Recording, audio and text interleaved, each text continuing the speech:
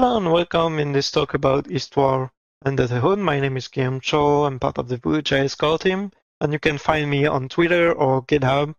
And today I'm going to talk about Histoire, which is a tool that allows you to write story.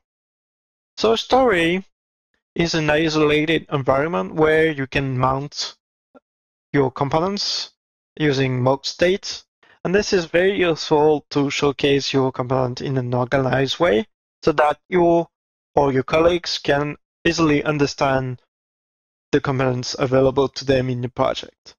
It also allows you to develop components in isolation because sometimes it's useful to not have uh, the rest of the application around it. It makes things easier. Finally, it's also useful for testing your components. For example, you can automatically take screenshots of every stories in your Histoire application to test for visual regressions that could slip through your development. Despite being still in development, Histoire is packed with a lot of features you can already try. Uh, my favorite are the automatic stories generated from my Tailwind tokens, such as background colors or text sizes. And I also really like the, the variant grids, which allows you to see a lot of different variants at the same time. Uh, for example, uh, all the different types of buttons you can have in your application, which I find very useful.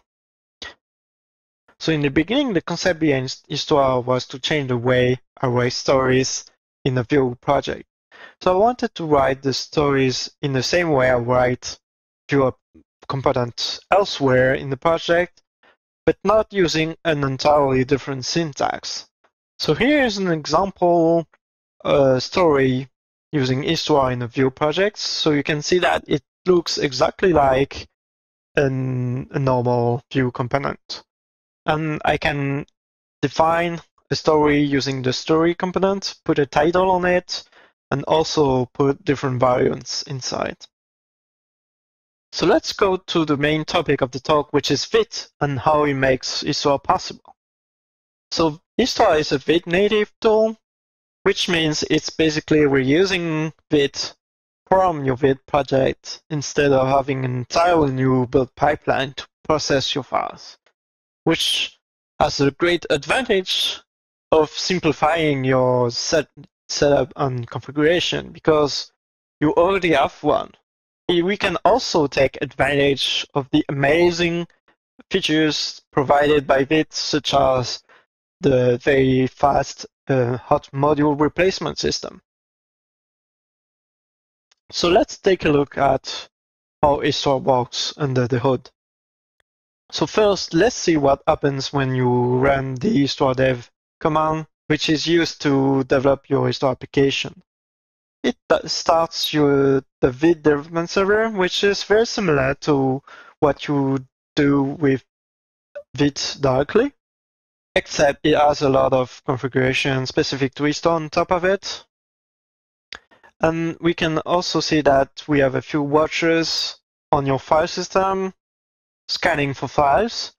So the first one is going to look for your storage files and the other one is going to find Markdown files. So in this example, we have a Markdown file which uh, is um, going to extend an existing story, and we also have two standalone Markdown files which are going to generate docs-only stories. Next to it, we have a Vite-Node server, which is going to be useful because Node doesn't understand some of the files in your project the way Vite does. For example, we can have Vue component as a story, which is going to be processed and run and executed by Node instead of Node directly. Uh, this is the collection phase where uh, Histoire is going to get information about the title of the stories and the number of variants, which is going to be uh, helpful in the main UI. Next, those information is gonna, are gonna be made available in the ViteDev server to be sent to the browser later. You can note here that we are not linking the markdown of the story one yet. This is going to be done in the browser later. Speaking of browser, what happens when you open the Histoire application in the browser? So the main UI is a precompiled uh, web application, which is great because it's going to load faster and you don't have to build it.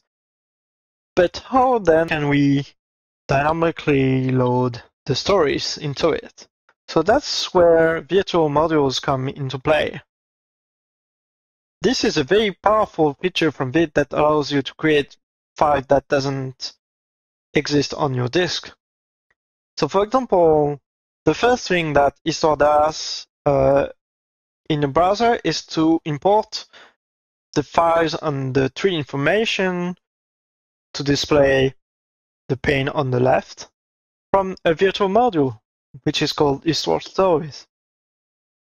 So on the Vite dev server side, we have a plugin, a Vite plugin that is resolving this virtual module into an actual ID. Otherwise, Vite would consider that this file doesn't exist on your file system.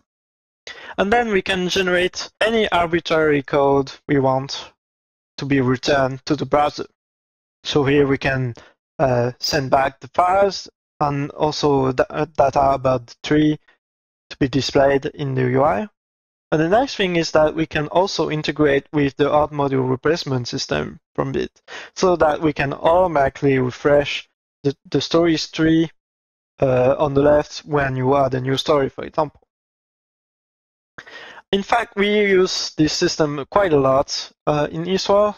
As you can see, we have a, a lot of different virtual modules being loaded in the browser. So, for example, we have the resolve configuration, which can be useful. We have the CSS variables to change the color of the UI. We also have some uh, support plugins to be compatible with uh, different frameworks. We have the Markdown files. We have also this, the search indexes to power the full text search uh, feature of the UI. And all of those can uh, integrate with the hot module replacement system of Vite. So what happens when you, we want to display a story? So first we're gonna take a look at the virtual module we just loaded. Um, we can, we're gonna find a dynamic import to the Vue component, which is the story file. So we are using a mount component for this, which is gonna load the story file using the Vite development server. And we can extract a few information about it, such as the props, like the, the, the icon, the icon color, or other settings put on the story props, and also the slots on other render functions. And those are going to be useful to render the story. So next we have two renderers, which are going to uh, render the content and also the controls, because you can customize the, the controls pane for the story. And the mount and the renderers are going to use support plugins to be able to understand your story file so in this case, it's going to be the Vue 3 support plugin. And next, we can see that those renderers are also be able to uh, use the setup code from virtual modules to, uh, for example, install Vue plugins or register global components into your stories. We can also, at this point, uh, fetch the relevant Markdown files to add documentation next to the controls pane for this story. Another important feature of Histoire is the state synchronization between the renderers. When you write a story using Histoire, you don't have to care about sending the state between the controls and the main content and your setup uh, code because Histoire does the heavy lifting for you. Even if the content is rendered inside an iframe, which is the case when you want to test a responsive design. Another interesting feature of Histoire is generating a source code that you can copy and paste into your project. So imagine you display a story about a button and you want to reuse the final result you see in the story but inside your actual application, this feature allows you to do just that with just a copy and paste.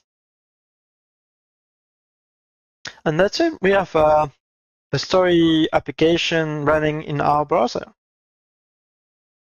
So the nice thing about virtual modules is that when you run the Vite build to compile your Histoire application in production, it will automatically turn those virtual modules into static code, which is perfect to deploy your Histoire application in production where you don't have a Vite development server.